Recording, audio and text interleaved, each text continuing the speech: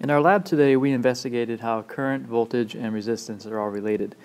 And the law that describes this relationship is called Ohm's law. It says that the current in a circuit is directly proportional to the voltage applied and inversely proportional to the resistance. So I'd like you to take these notes in your concept catalog. So we can write current equals directly proportional to voltage. So it's going to be voltage and inversely proportional to resistance, resistance on the bottom. We'll write this again using symbols. Current is the symbol I, voltage is V, resistance capital R. And as far as units go, the units for current is amps. We can write amps underneath there just to be clear. And we can write units next to here just to be clear. And next to V, that would be our volts. Actually, I'm going to keep it with a similar way of showing that. So volts, capital V, and that means volts. And R, the symbol for resistance here, I mean the units for resistance are ohms. And it has a funny shape. It's actually the Greek letter omega, a little bit more rounded, kind of like that. And this is ohms. Okay, so let's, um, and with this equation, of course, we can write it three different ways. This is one way of writing it, but we should also be able to do algebra to get it into this form, V equals, and we should also be able to get it into this form, R equals.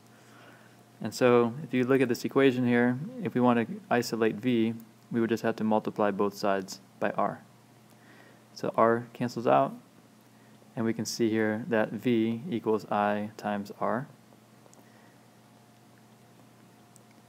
And we could do another algebra step on this form. If we want to put it into R form to get resistance by itself, just divide both sides by I. I's cancel, and now we have R equals V over I. So you should be completely comfortable at this stage being able to convert between these three forms. Let's take a look at an example. A circuit is made by connecting a 6 volt battery to a light bulb. If the resistance of the light bulb is 2 ohms, how much current will flow through the circuit? And of course, as you'll notice, this should be a lowercase h. Alright, so uh, let's write down what we're given we know that the voltage is 6 volts. We know that the resistance of the light bulb, R, is 2 ohms.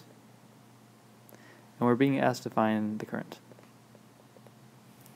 So we can use I equals V over R.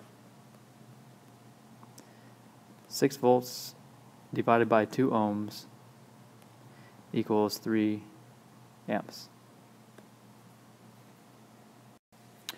In our lab today, we learned how to measure voltage using a voltmeter, and in a future lab, we'll learn how to measure current using the same voltmeter, multimeter, but set for measuring current. Okay, so on the next slide, I'm going to present a little summary of the major of these three major ideas: current, voltage, and resistance. So um, here's the table, and I um, suggest that you copy this into your concept catalog because it's a pretty complete summary here. It has the variable, so it has the variable here, current, and the symbol for that. It has a definition. It also shows here the unit for measuring that concept and the symbol for that unit. And it also gives a definition for that unit. So current is defined as the rate of flow of charges. Its unit is one. Uh, its unit here. Oh, yikes. Um, let's try it a different way here. Okay, its unit is one amp, and a one amp is defined as one coulomb per one second. All right. So if you have any, I guess one thing I will notice point out here is that um, we're not really going to refer to this definition of an ohm so much as 1 volt over 1 amp, but that directly comes from using Ohm's law. Okay, that's all. See you in class.